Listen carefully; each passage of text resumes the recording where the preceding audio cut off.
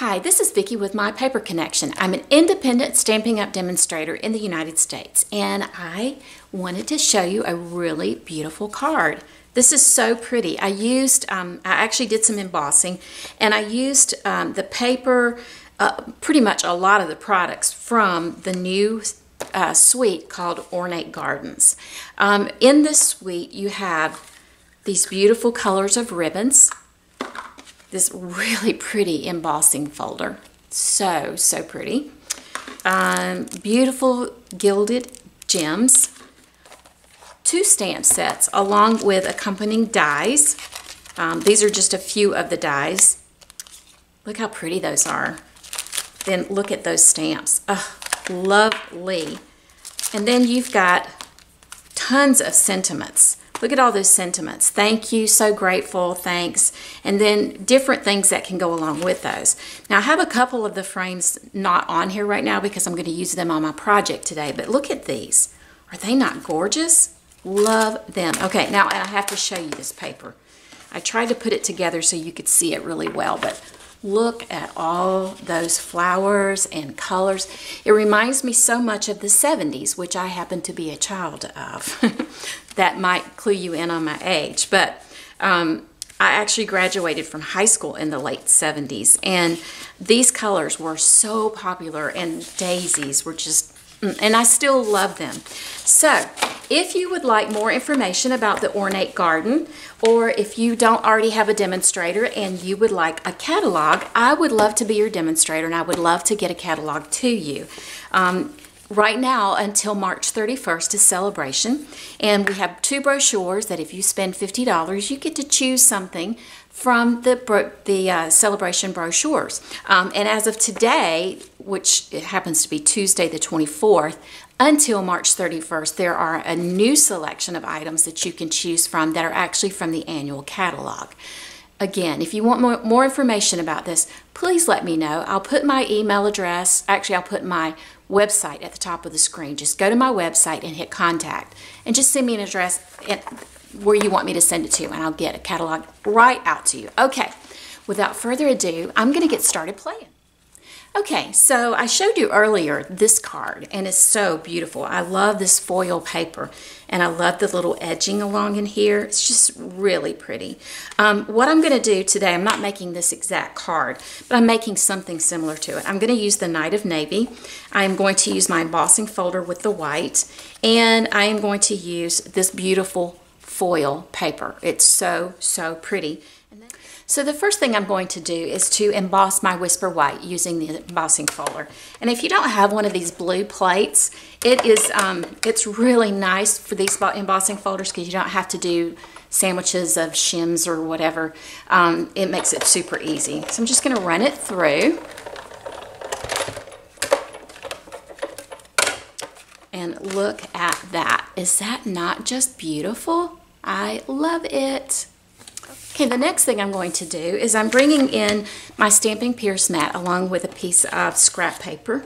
And I'm going to use Night of Navy. Now, I have not made this card yet. I'm actually just doing it on the fly. So hopefully it will turn out what I have in my mind anyway. I'm just going to give it a test drive. Oh, that's so rich and so pretty. And it really doesn't matter where I put it on here because I'm going to cut it out. That is so pretty. So I'm bringing my die cutting machine back in. I'm using gold foil and I'm using this um, particular frame. And I'm just going to run it through. I'm going to do it a couple times because there's a lot of detail and I want to make sure that it cuts it out really nice.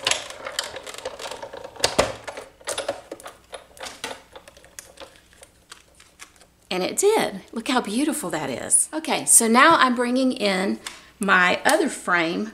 Um, it's a stitched frame. I happen to be using the magnetic platform. Sometimes you have to have to move it to where it doesn't slide. The, the polarity of it will cause it to slide sometimes. So just going to put that in there. I also want to cut out some flowers. So I'm going to use the large, medium, and small and then I will just layer those together. And I'm going to end up cutting out three sets of these flowers. Okay, I have all my pieces prepared. Um, there's a lot of little pieces that come out of this. And if they don't all come out, you know what I do? I just kind of thump it like that and they'll come right out. Um, you can also tap your die onto um, the tape, the countertop and they'll come out that way too. All right, so let's put all this together. I have a Night of Navy cardstock. And don't worry about all the sizes. I will post all that in my website, which again will be listed at the top of the screen. So I like to use Tombow when I'm working with a embossed surface um, because it just tends to stick a lot better. So we're just going to bring this in right in here and place it down. I love Tombow because it gives you a minute to just kind of shift it if you have to. And then I'm just going to glue this onto the front of my gold frame. Just pop that in right in there. And then I'm going to use dimensionals for the back of it. Make sure you stay within this solid frame or else your dimensional will show through the other side. Okay, so now I'm just going to place this. Whoops, no I'm not. I forgot about this piece. I'm going to actually glue this and place this on the front of this other. And I normally put all this in together before I adhere it to my card base, but silly me, I'm just doing something a little different. Um, crafting and creating on the fly here. All right, I love how the blue all of that gold and the white works with the blue. Ooh, I'm liking what I'm seeing so far. Just place this, place this right here. It's a very simple card. Now I'm going to put my flowers together. So you have um, a small, medium, and a large. I'm just going to take my, put a little bit of glue on the back of the medium, the smallest one, place it in the center of the medium one. And I kind of like the petals to be off-center just a little bit. And just do it in the center. Don't put it on the actual, um, on the actual petals of the flower themselves. And then you can just kind of poof it a little bit. I think I'm going to try something different actually. I'm going to use my glue dots. I think that's going to be a lot easier. So put a glue dot stick it in the middle of the medium one, add another glue dot. Oh, that's much easier. And put that in the middle of the larger one. Now, one thing you can do, you can use your fingers to kind of poof those up a little bit, or you can use your paper piercing mat and just take your, um, take the center of your, um, take your pick tool and just kind of press it in the middle, and it will cause it to kind of open up a little bit. I could have done a better job of alternating those petals, but it's still going to be pretty. All right, let's do the same thing here.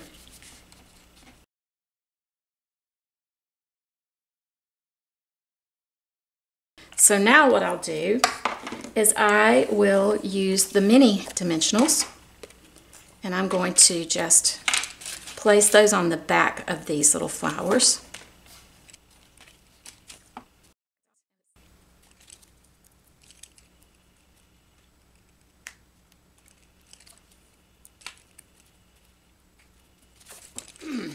The next thing I'm going to do is to use my gilded gems. So I'm just going to take my, um, take your pick tool. I'm going to use the medium size, I think.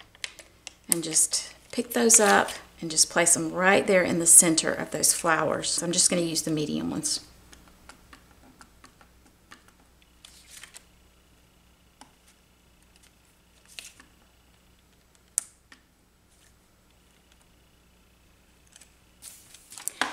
So the last thing I'm going to do is to bring, I brought my Stampin' Pierce mat and my scrap paper back in.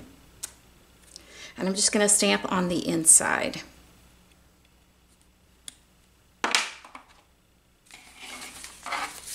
And since this is a red rubber stamp, it's not necessary to have the mat.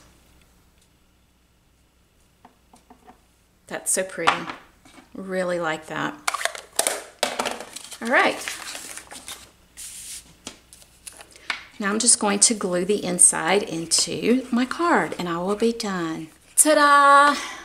Not too bad considering I didn't have a prototype in front of me, but Isn't that pretty? I love that navy and gold together. Both of these cards are just gorgeous. I love the papers, the colors, everything about it. I have a fun fold I'll be doing on Saturday, and I can't wait for you to see it. So um, thank you for dropping by. Thank you for watching. If you haven't already subscribed, please hit the subscribe button, and if you ring the bell, you'll get notice of when my other videos are coming out. Again, if you haven't, if you don't have a, a, Stampin' Up demonstrator and you would like a catalog, please let me know. I would love to have you be one of my customers. I would love to have you on my team. So be sure and check out my blog and um, have a great day, y'all.